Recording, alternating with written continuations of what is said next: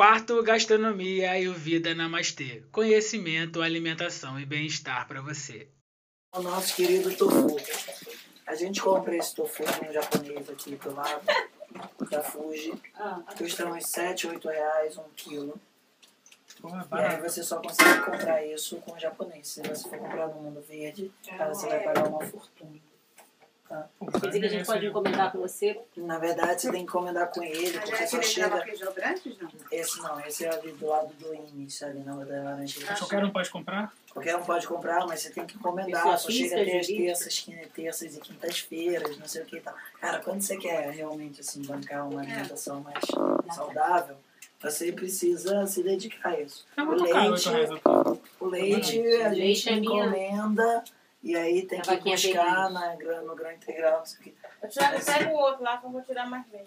É, o tofu, assim como a soja, vida, não é visto com olhos Traz tão, com a lata, tá? A com a lata tá molhando. com olhos tão favoráveis quanto a nossa cultura vê. O tofu em si já não é tão problemático. Mas assim, pro Ayurveda, a soja é um treco difícil de você digerir. A soja, sem estar pré-processada na forma de tofu, é alimentação de cavalo. E aí não basta ser um superfície. Você pre- realmente precisa ser um cavalo no seu corpo também para digerir a soja de uma maneira adequada. Então, assim, a soja dos feijões, com certeza, é o mais difícil de ser digerir. Te diria que, assim, se você quer ter uma boa chance de digerir a soja, só use na forma de tofu ou tempê. Só que tempê é bem mais caro. E tempê é um negócio bem difícil de achar também. Tá? Mas, assim, esse tofu feito dessa forma, que é de japonês e as coisas nas lojas japonesas são bem mais, bem mais baratas, é, é uma forma tranquila de você ter uma alimentação saudável e o, o tofu tem a grande característica de ser muito versátil. Como ele não tem gosto de nada, ele é uma esponja, qualquer gosto que você botar nele, ele pega e fica gostoso, certo? Então, para fazer quibe, todas essas coisas assim, mais pastel, empadão, não sei o que, todas as coisas que precisam de um recheio, o tofu é uma ótima solução.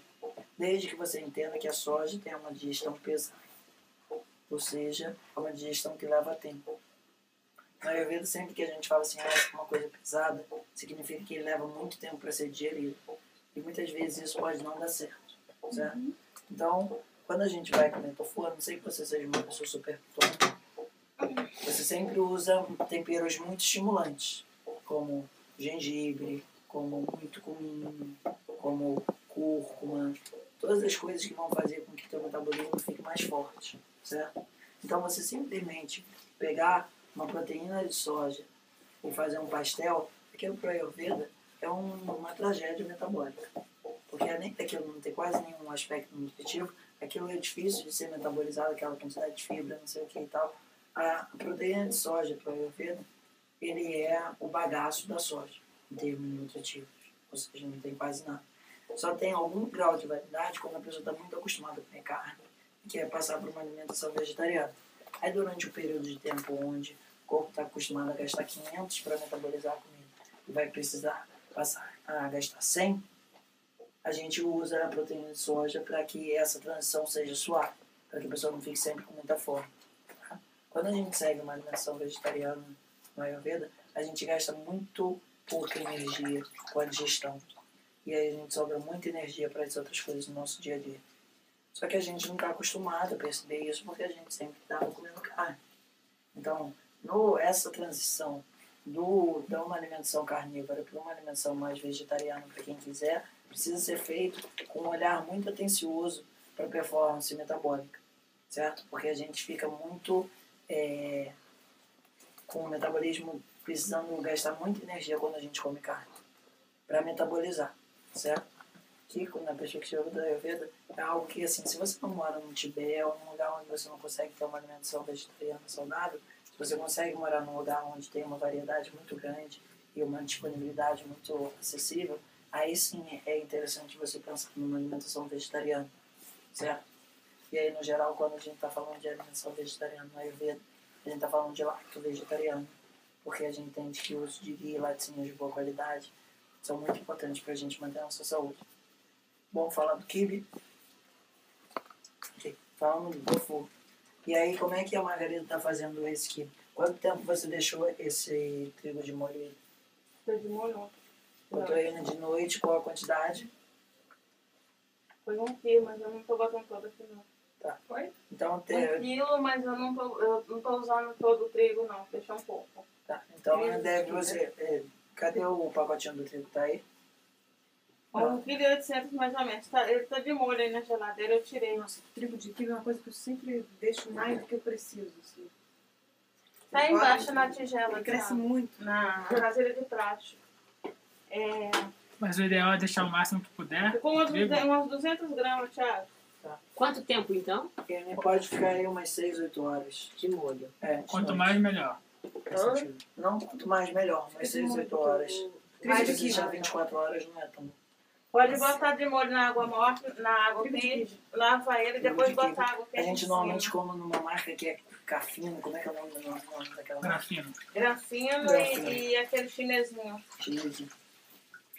É, nesse aspecto assim, da culinária, a qualidade de- dos produtos que você usa para fazer a preparação muitas vezes é determinante. Mas aí eu não entendi. Se isso fica de molho, Você como deixa de ele molho na água morna da noite para amanhã.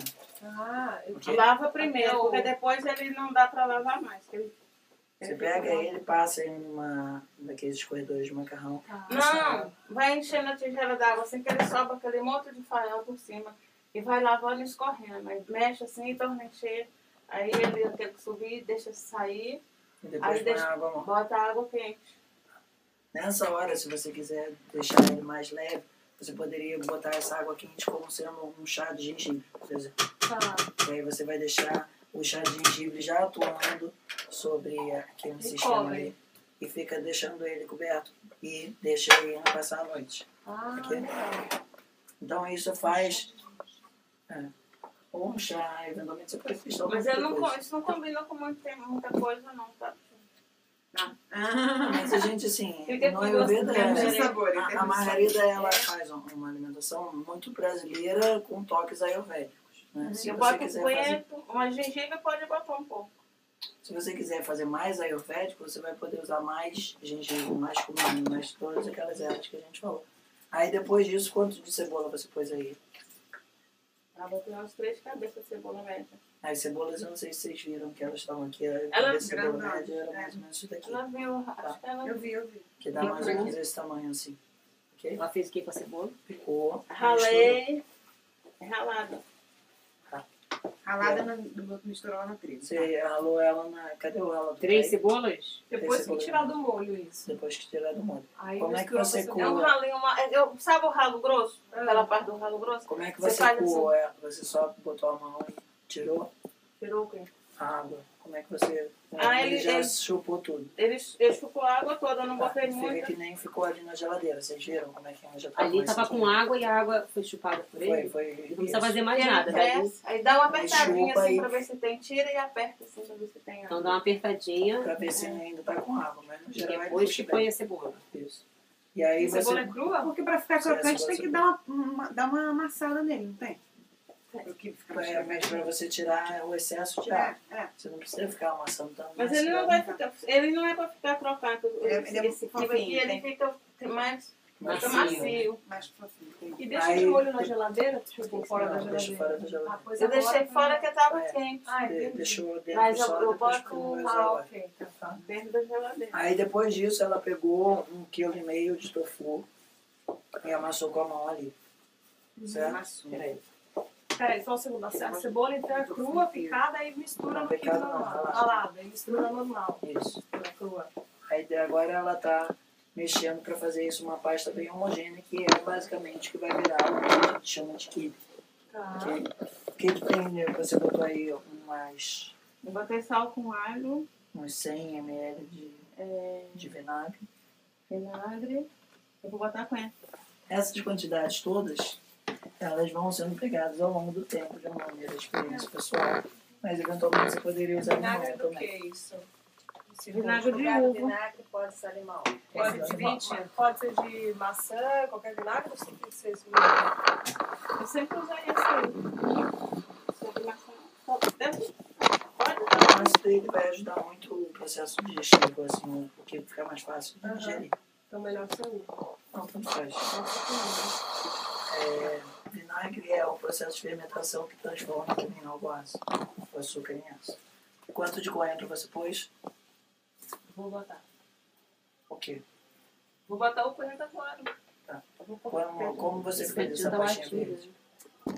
Quanto você bateu de coentro aí? Aqui foi um molinho. Um molho de coentro e quanto de sal você pôs aí? Ah, um pouco. Meio vidro. Meio vidro aí botei folha de alho poró e o coentro. Alho poró. Com margarida tudo assim. Ele vai não no olho, né? É difícil pra quem já tá no, no automático. O, o, Como é que é esse molho aí? Secreto? Não, mas é alho. O quê? Um pouquinho de alho, sal, Hum. o coentro Um e pouquinho o de de alho alho você poró. não sabe se é um dente ou Alho, dois dentes. sal. Coentro É. e folha de alho poró. Folha. É umas folhas. O- nessa hora aí você poderia botar também um pouco de salsinha e tal. Seria uma coisa que daria aquele gosto de queijo mais que a gente tá acostumado quando a gente come. Hortelã, né? Acho que eu não vou Manjericão. botar mais. Dois. E esse molhinho aí verdinho, você usa só Não, não é molho não, isso é, isso é tempero, Sim, é esse sal. preparo aí, esse vidrinho, usa pra quê? Várias temperar. coisas? Eu acho que já tá até bom de sal, eu não acho que nem vai precisar Temperar o quê? Qualquer coisa, geral? É, pra qualquer coisa. Ela usa isso como uma base de alho e sal. Ah, Antes ela usava muito, como é que era o nome daquele? Agi, como é que era o sal? Sabor a mim. Sabor a mim. Que era um negócio que você compra no mercado até hoje, que tem o de tampa vermelha e o de tampa azul. Que é um preparado. né? Ah, que, que, é que é um, parece um vinho? É, parece. Não, é um sal parece com alho. risco, mas essa é uma outra marca. Ah, tá. Mais antiga. Deixa eu dar uma aí, passadinha. assim, então. ela, lá em casa sempre cozinhou com isso a vida inteira. Hoje em dia ela tá cozinhando, fazendo isso mais. É que ele disse que ele tem muito sódio. Ah, é. E eu mostrar pra vocês o sal de rocha. Deixa eu ver se eu acho esse um coentro. Isso aí você bate no liquidificador, Margarida? Aquilo ali eu bato. Bate tudo não. É. Não vai azeite? Não, alho, sal, coentro. O alho já dá umidade Tá suficiente. com aquele cheiro de ovo. A, a folha do alho poró assim. que deu mais Ah, água. o alho poró. Aí o coentro também vira água, né? Não põe óleo, né? Só Não. E aí, como é que você vai botar isso no tabuleiro? Vai untar o tabuleiro vou também? untar o ali E já tá pronto, então. Já tá Você pronto aqui, né? no muito prático. Tá pro cara. forno. Agora, Quanto se tiver um carnívoro, pode botar uma, uma carne moída? Ah, junto com o tofu não. Não, o tofu né? é carne Ou uma coisa ou outra? É. Quanto tempo de forno?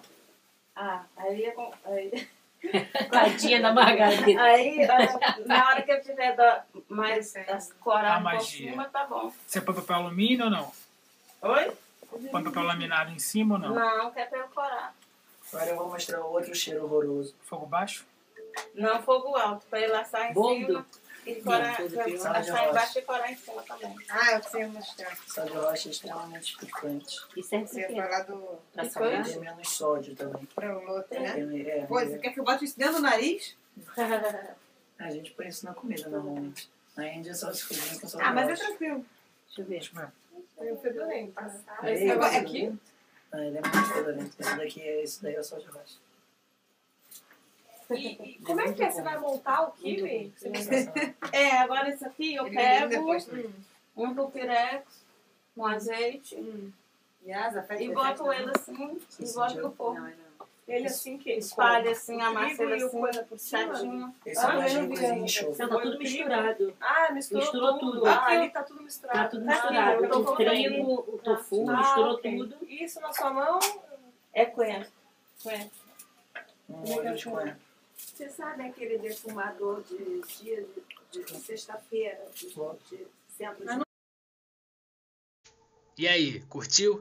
Fique ligado nas nossas atualizações gastronômicas.